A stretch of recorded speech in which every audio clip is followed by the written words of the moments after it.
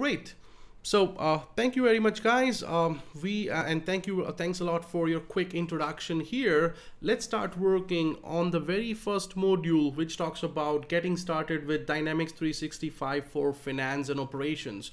Uh, to quickly talk about it, what we are expecting uh, to be discussing in this particular module is a quick overview of the applications, along with how do we start utilizing that.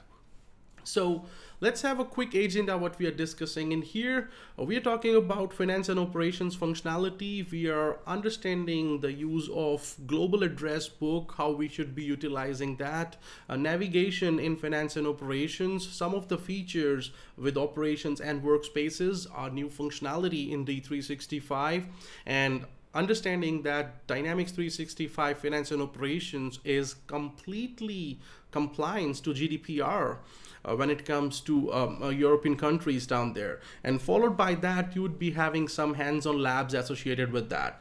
So to quickly introduce you how we would be moving along with the program, the very first thing, I'm going to explain you the concept through these PowerPoint presentations.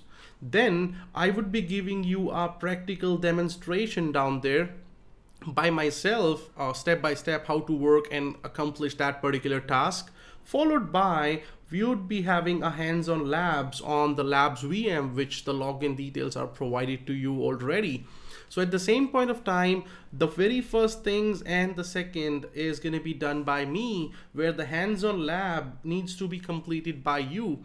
Now that's completely your choice. You want to do it during the class or after the class hours. The labs are available 24 by 7 for the next three days. So you can have some of the hands-on associated with you. Great. So let's start working with the very first thing which talks about the introductions. Having said that, when I say uh, the quick introduction to Dynamics 365 being an application or, or anything listed down there, we are talking about what we would be covering in here.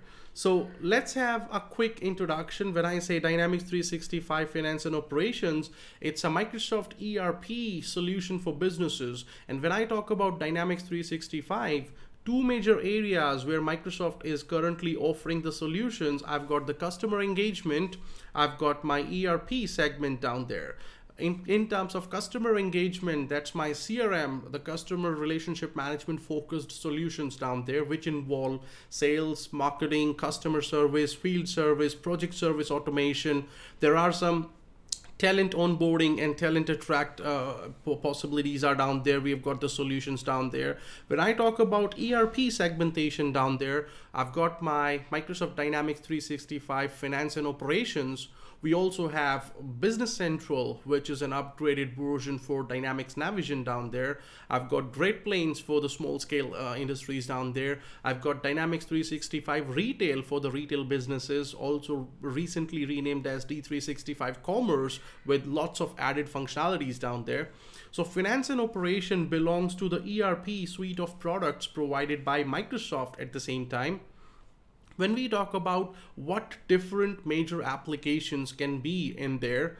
So let's see, we are talking about finance, uh, it's pretty much for every organization, finance is gonna be the backbone in terms of managing day-to-day -day journals, creating your cash and bank related transactions, managing your accounts payables, accounts receivables, budgetings and all. So that's all comes up as part of D365 finance. At the same time, we've got human resources slash talent over here. D365 for uh, job applicants the job applications onboarding process attract processes down there. That's what we have as part of that over here. Some of the industry verticals if we talk about i've got d365 retail down here. I've got my manufacturing related modules whether it's my uh, production whether it's my uh, discrete manufacturing or lean manufacturing down there I've got D365 for public sector where we need to manage the fund uh, entities down there. We need to manage the pledges down there. We need to manage uh, pretty much uh, the public sector industries at the same time. We've got uh, the distribution, the supply chain foundation out there. We've got uh, industry add-on for service industries where you need to create and work on service orders down there. And when we talk about some of my horizontal workloads, whether it is my human capital management, whether it is my project service automation, whether we talk about our budget foundation, planning, creating and managing budgets down there, or whether we are talking about expense management, travel and expense management, we are talking about supplier relationship management, or we are considering our Salesforce automation by automating sales processes, workflows down there. We're talking about customer cares, customer insights. We're talking about marketing automation. With the help of Dynamics 365, we can pretty much achieve all our horizontal and vertical workloads, providing how, how we start working and how we utilize these applications in our plant production environment down there. At the same point of time, when we talk about some of the quick overview related details that how the global address book works, how do we start utilizing them. So when I talk about Dynamics 365, there is a concept of what is a global address book, uh, how that actually works into the system and how we should be planning them and utilizing them. We'll be having a demonstration of this navigational overview as well. The important thing to discuss it is not a feature which is something new which Microsoft just introduced. No, that's available from very long time. It's been there since AX version 4.0. Then uh, Microsoft with the evolution of every release, whether it's 2009, 2012, R2, R3, AX7 or the latest D365 Finance and Operations, Microsoft continued to enhance that with some add-on functionalities down there. So it's important to understand what is our global address book, how we should be planning that, and how we should be utilizing that. Having said that, let's take an example of the navigation and discussion, discussion on the global address book down there. So for that, I'm taking you to my browser over here. Important thing, I'm already connected to my westcoast.gtechlearn.com. Uh, to quickly give you a small heads up here, guys, I was seeing some of the chats where people were facing troubling accessing to the labs. So let me click on logout over here I'm showing you again step by step how would you be logged into the labs. Right now you don't need to do anything. You'd be doing hands-on when we would be discussing the lab accesses and you'll be assigned a lab down there to work on this application. So right now I'm at, at westcoast.gtechlearn.com. Important thing, I'm over HTTPS, so that's completely secured over browser.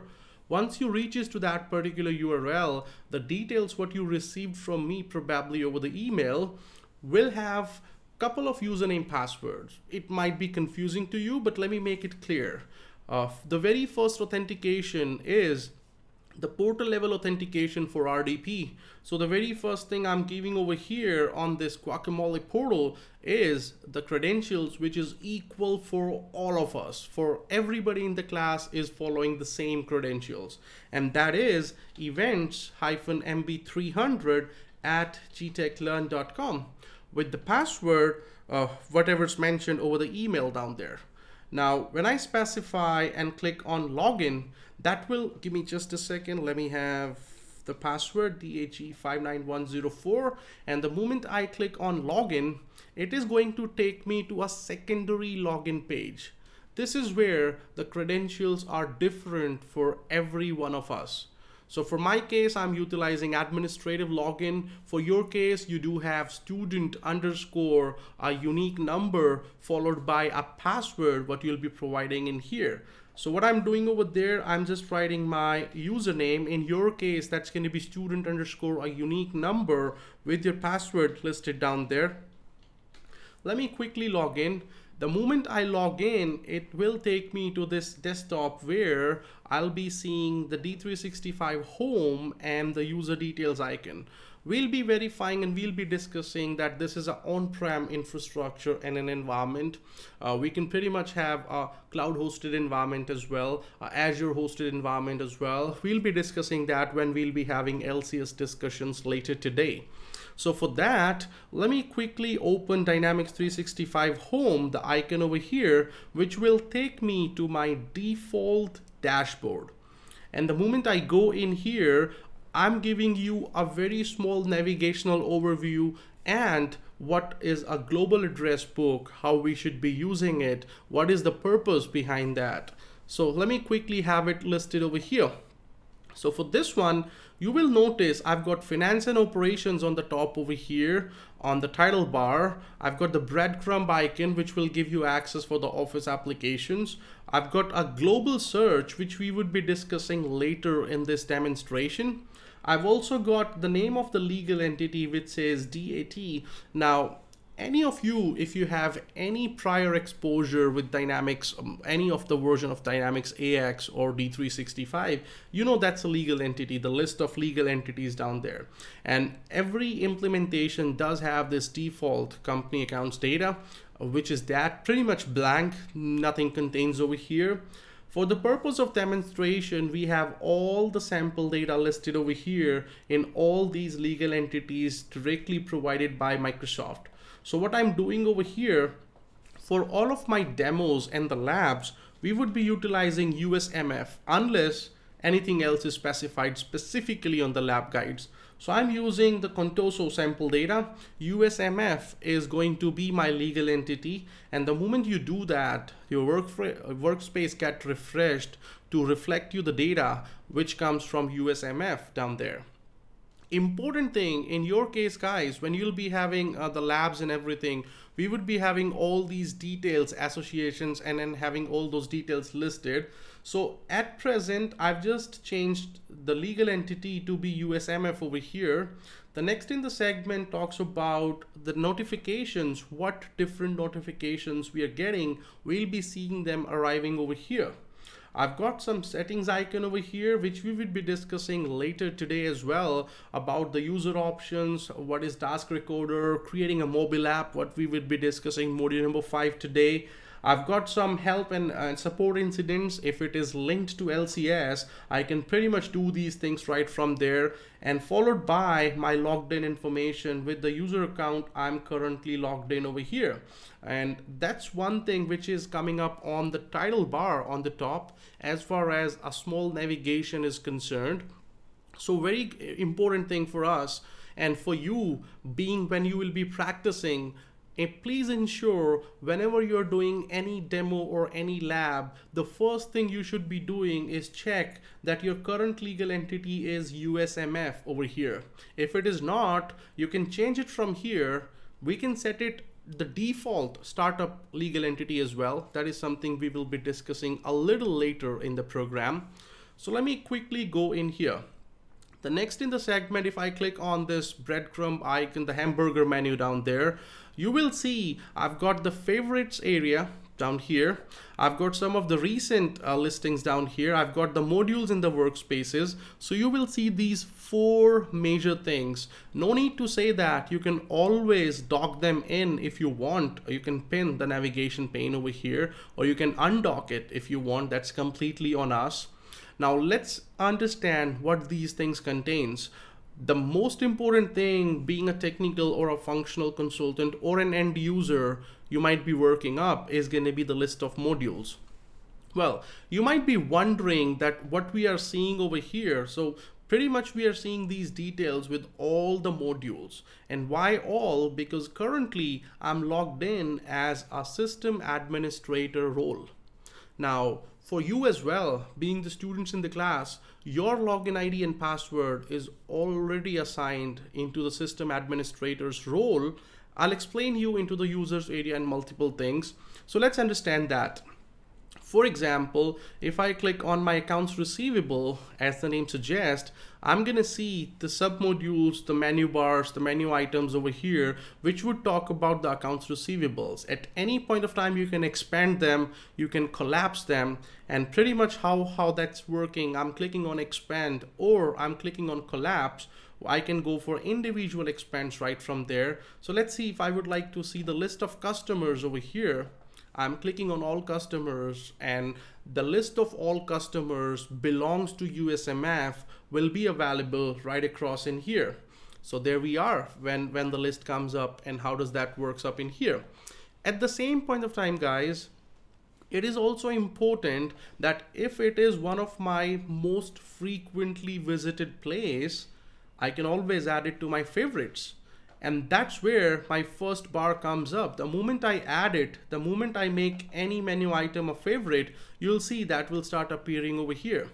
At the same time, if I go, let's say if I'm scrolling it down and I'm moving to my system administration area, on the users, I'm making that as a favorite, including the online users as well. So the good thing about that is at any point of time, you just click onto your favorites right over here and you will directly be in there in terms of how many online users are there, what are my current client session, where they are working. I can have all these details. So I can see a couple of you are already logged in over here with this particular MB3 events MB3 user down there. Okay, that's fine but that's not the demonstration. The demonstration was to tell you I've got the modules over here. I've got the workspaces, which we will be discussing a little later today. I've got the recent visited areas and I've got my favorites areas where I can add the menu items to be into the favorite mode.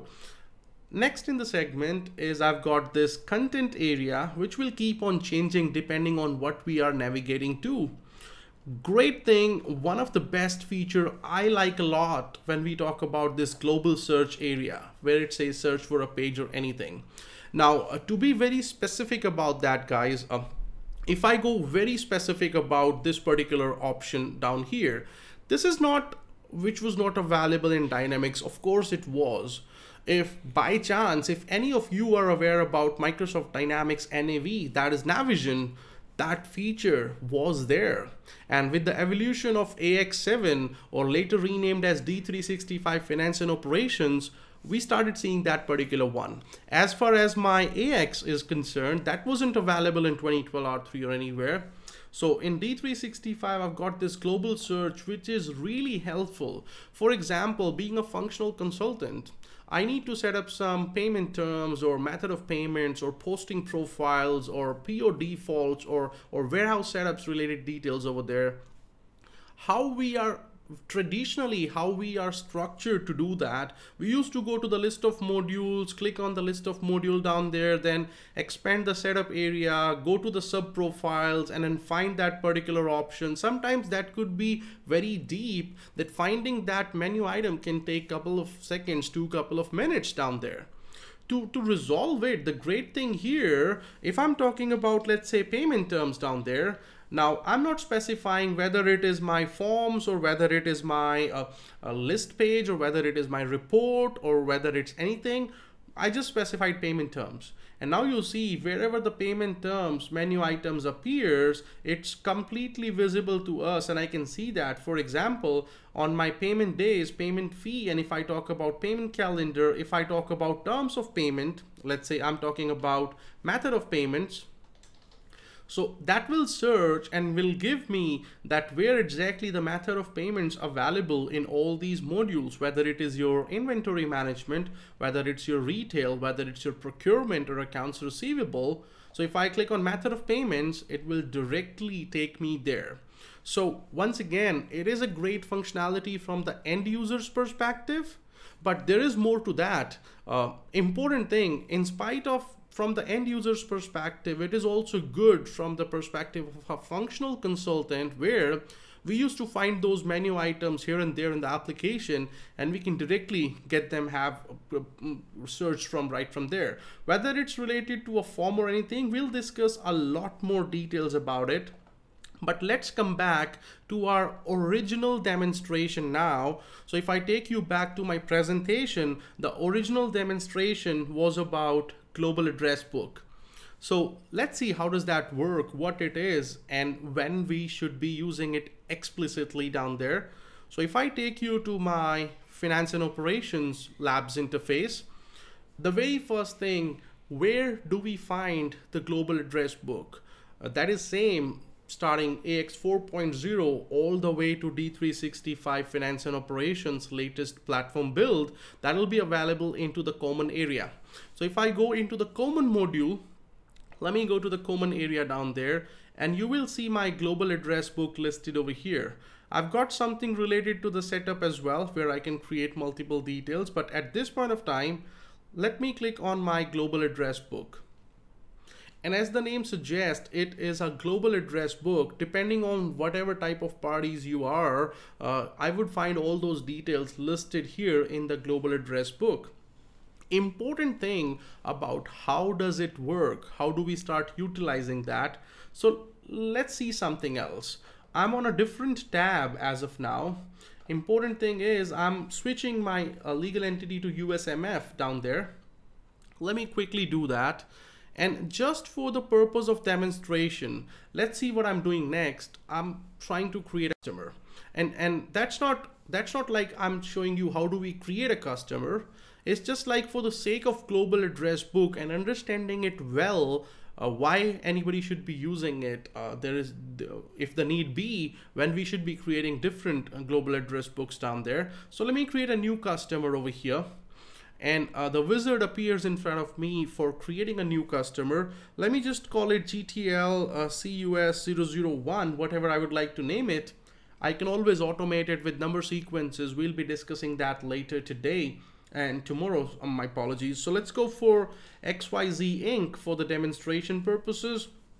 As far as my customer group's concerned, I'm specifying the customer group is going to be 10 over here. Uh, net payment terms, you can specify all these details. Uh, some of those are, are absolutely required. Some of those are optional. At this point of time, let me just say save and open. So I'm saving that customer and opening that, or maybe you can create that customer at any given point of time. So the purpose of that was I just created a customer in USMF legal entity, number one. Number two, that's in accounts receivable. I created a customer. Let me take you to the different tab where my global address book was listed. And here, if I'm searching anything related to XYZ, for example, Let's take a look guys. I'm seeing XYZ Inc. over here and there is a party ID associated to that. We will discuss the roles and multiple things, but just to show you, um, and when I talk about the listed relationships, is it related to a different party altogether? You would like to see the roles. If I open XYZ Inc. from the global address book, we know very well we created that as a customer. So if you scroll it down further, you will see the roles listed down here. And currently over here, there is going to be one role. It is telling me that this particular party is a customer on this particular legal entity. And this is the customer number. Well, let's do it a couple of more times and, and try and understand that. So at the same point of time, whether it is a customer whether it is a vendor, whether it is an employee or a contractor, technically a worker, whether it is a job applicant, whether it's a lead, an opportunity, or whether it's a contact to, and to anyone, they all will be a party down there. Important thing is why I created that as a customer directly over here. Why not I created that as a party into my global address book first. So let's understand that whether it is a contact, customer, vendor, worker, prospect, applicant, competitor, any kind of categories, they would be always be available in your global address book to reduce duplicacy, to have the data deduplication in place down there. How does that help? Let's take a look. I'm creating a new party over here. Important thing, when I should be creating a party in my global address book, the thumb rule says when I'm not sure what that particular person or party is going to be. I'm not sure whether it's a customer or a vendor or anything, but that's going to be something. Then I should be creating them as a party. So let's take an example over here. I'm talking about here uh, quick to hire, for example, with the search name, uh, whether the party is an organization or whether the party is a person, you can define all those values, have the address listed over here. So let me quickly save it real quick once. I've just saved it. Let me go down and add address real quick to this particular party. And I'm just gonna do that. Let's go for official and I'm gonna specify the zip code down there whatever we specify and Alpharetta, Georgia. Let me quickly quickly say yes. So important thing is I just added an address. I created a party. So first thing first, it is not a customer. It is not a vendor. It is not a worker either. But currently it is just a party. So for example, we got to know, hey, Quick to Hire is going to be a vendor for three of our legal entities. And instead of creating that vendor three times down there, well, I'm clicking on a vendor over here. So this party is going to be a vendor in my ERP system. Important thing, for which legal entity, what's going to be the vendor account number and a vendor account group. So when I'm clicking on that, it automatically opens the vendor form. And let's say I'm going to say it's going to be vendor account number 20. And you will notice the names, all these values are automatically coming, including the address and all of the details. Well, let me just save it.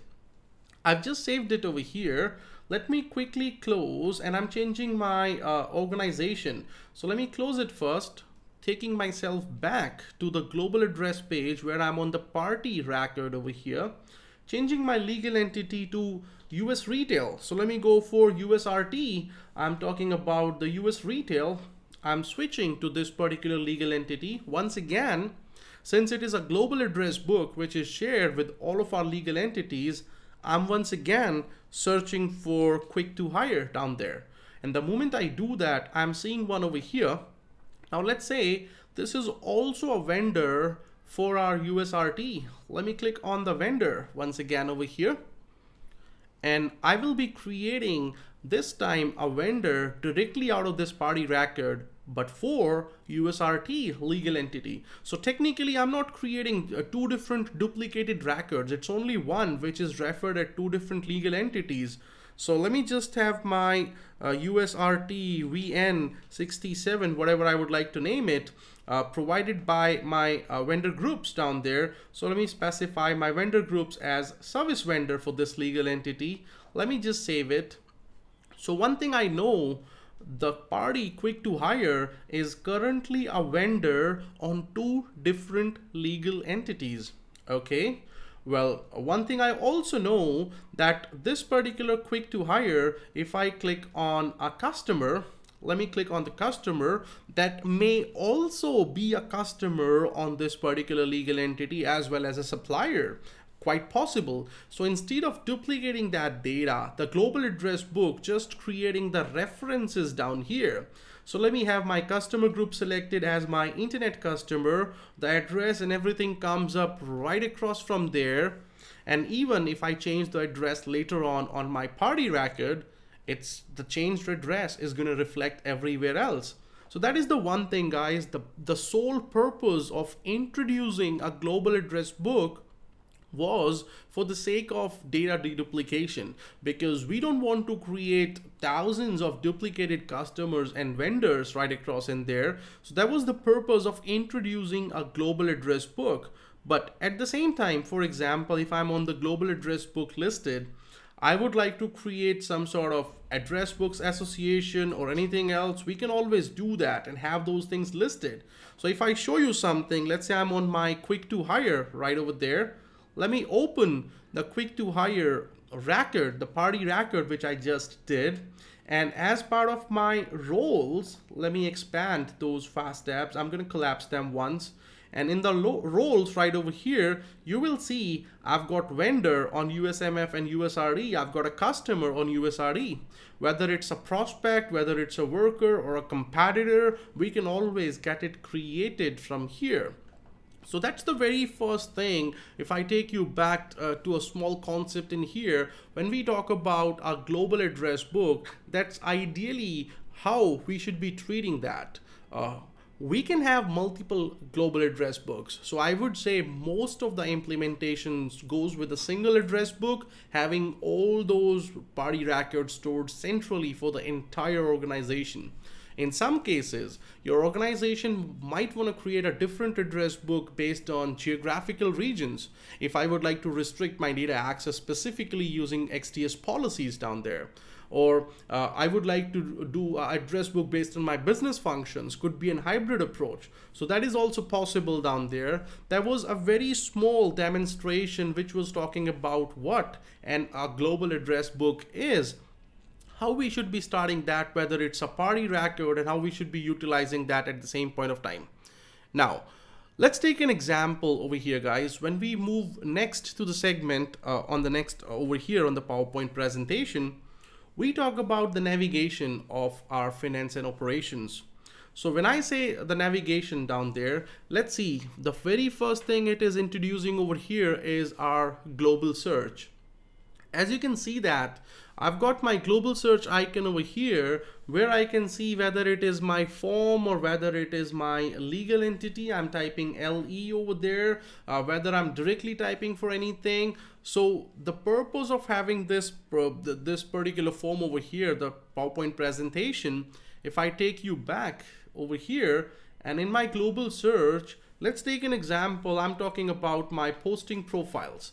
Now important thing is these posting profiles, whether they belongs to your accounts payable or inventory or customer posting profiles or vendor posting profiles, you see them listed over here and start verifying and start creating right across from there. So this global search functionality is available and that's great specifically for the end users and the functional consultants down there.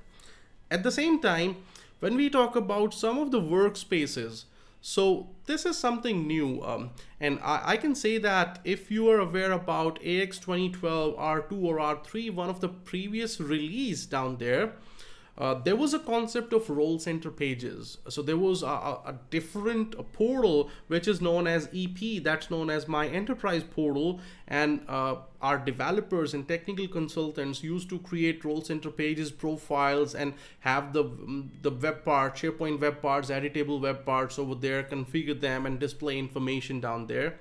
So you can say that's quite similar, but it's completely different, redesigned in terms of HTML5 based access, uh, quick tiles over there. Uh, in, in MB500, in the developer course, people actually learn how to create and configure those workspaces and make them available to the application. So the important thing is how these workspaces are available into the application. Let's take an example. I'm moving over here to my demonstration portal, to my labs access.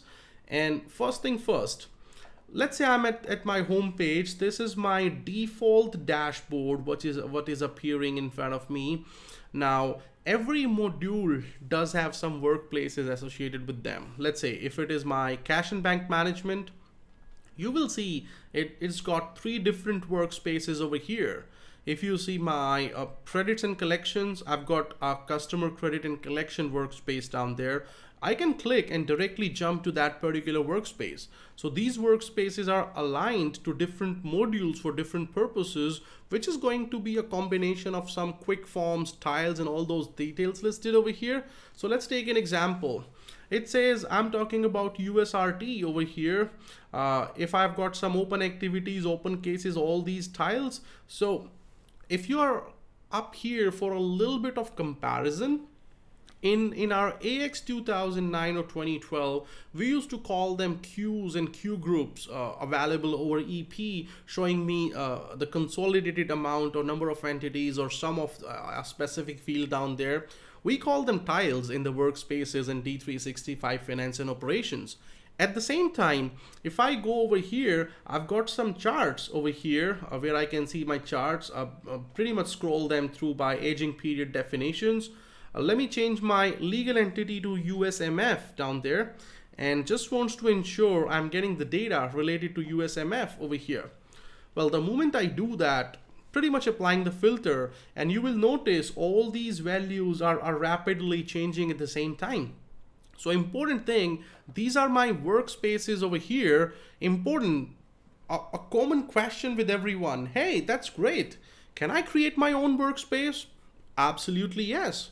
How do we do that? Well, we can always do that uh, with the help of a technical consultant or a developer. So it's actually MB500, a different program, which teaches how do you create your custom workspaces uh, through the portal, through Visual Studio, make them available wherever we want. Some of our workspaces will show you these analytics for all companies. Well, that's Power BI. I'll come down to that today on module number four when we will be discussing um, reporting capabilities down there. But at this point of time, I was talking about that my workspaces are available on every different module down there and there is a place where I can consolidatedly see all the available workspaces based on my security role. So whatever I have access to, you see I'm seeing all these workspaces over here. Let's take an example. What if I would like to go for my purchase order confirmation workspace? So I, I click on my PO confirmation and now you see I'm, I'm having my purchase order listed over here for review and all. You see all these details listed uh, for the confirmation tab. And let's, let's take an example of Northwind Traders, my vendor listed over here. If I've got any PO for review, awaiting actions. So the important thing is depending on every different module, we've got these workspaces listed over here being a technical consultant or a developer, we can start creating, even customizing these existing workspaces if the need be. So as far as a navigational overview comes up over here, uh, there was like, I know what the favorites area is. Now I also know what is the recent tells me that my re most recent visited menu items. I know the workspaces area now. I also know the list of modules being available to me based on my security logs down there.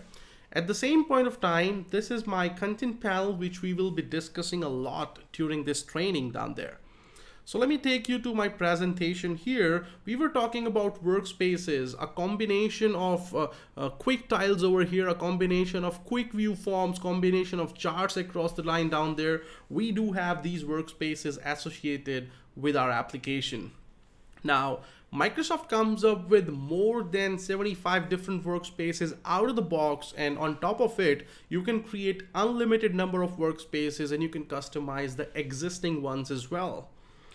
Okay, the next in the segment, it's quickly a very a quick slide over here, but just to tell you that GDPR specifically when you when you're implementing anything inside European Union, one of the stringent set of rules needs to be followed is your uh, GDPR, your global data protection regulations down there. And just to tell you that our D365 finance and operations is completely compliant when it comes to our GDPR regulations following up all those values down there. So that was the very first module guys. This module was a little bit talking about how do we work with our navigational overview down there. Now based on this, you've got a very small single module exercise that will talk about creating and configuring a, a, address book. If you need to create a new address book specifically for a different region down there, You'll be doing that over here. For this one, i will be providing you a URL. That URL will give you access to another PDF. That PDF contains the steps of how you would be using the global address book at the same time. So let me just have it over here. The moment you will be clicking on that, let me show you that first and then you guys can start working. So this is a practice lab every practice lab does have some exercises over here and they give you a scenario that what you would be doing over here and that gives you the steps some of the unique steps over here. So you would be following these 15 16 different steps over here for configuring an address book guys. But just to let you know uh, one thing you should be aware of that we all are working on a shared lab in our regular trainings that used to be a dedicated lab over there. So you do have the lab access with you. Once you have this lab downloaded, important thing when you will be doing in the name field, you, you need to enter ROM store and then I've made it a little bit easy to do. You should be putting up your unique first name, last name, or maybe your student number with the same student number you're logging in. So you will know these are your configurations, your records, what you created over there. So that's one thing what we have over here. Now, important thing to everybody, we did provided the sandbox credentials to everyone in the class just in case if you guys haven't received any any um, credentials uh, that the email should come up directly from me but just in case if you don't have it feel free to pass on your details to support at gtechlearn.com and uh, I'll, I'll, they'll be happily provide you the, the, the lab access for this. So for all the people who does have the lab accesses, now you can download this PDF as your very first exercise. Let's configure this global address book. That's going to be 15 different steps. And once we are done with that, we will proceed further. So let's say a quick 10 minutes where you'll be able to complete this lab and then we shall proceed further.